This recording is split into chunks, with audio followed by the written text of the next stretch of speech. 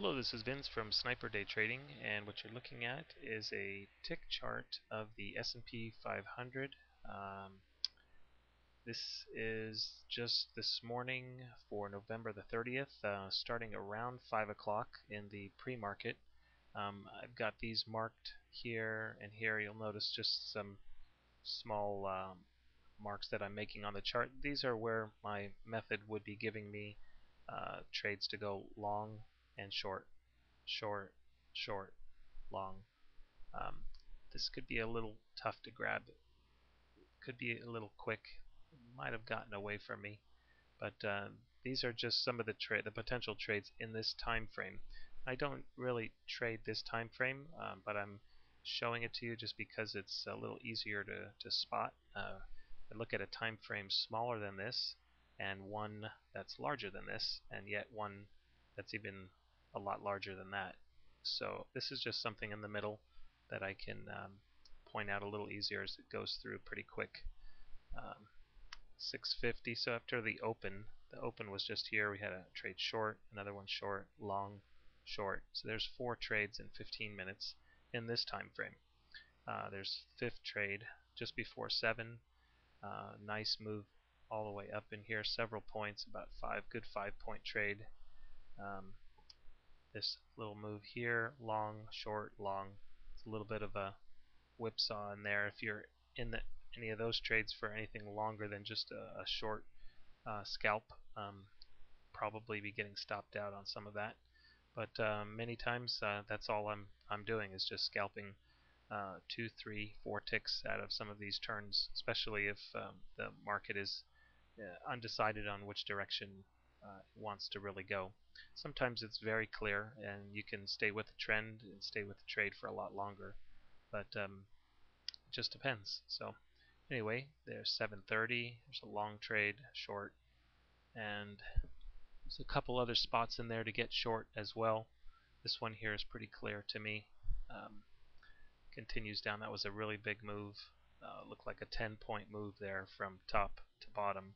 And that happened in about good 40, eh, maybe about an hour. It's about an hour move from top to bottom. A little bounce here off the bottom.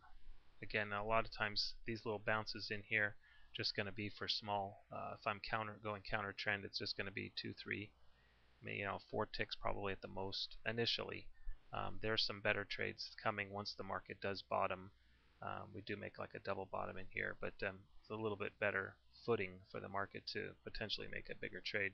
So these were the few trades that I that I took uh, short for a point, then close the other half out for a half point, then long in here for a point. One, two, three, four, yeah, point, and then a point and a half on the second half. Um, those two trades right there is really all I needed. Uh, really, that's um, three averaging. There's uh, over two point average on these two little trades here. I did have this trade right. Um, I don't remember exactly what happened uh, with that. I closed it out at break even, but uh, it did work out. It was a good trade actually, but I'm um, not going to cry over spilt milk. Uh, pretty much had my daily goal right there. And you can see this was a good little trade short.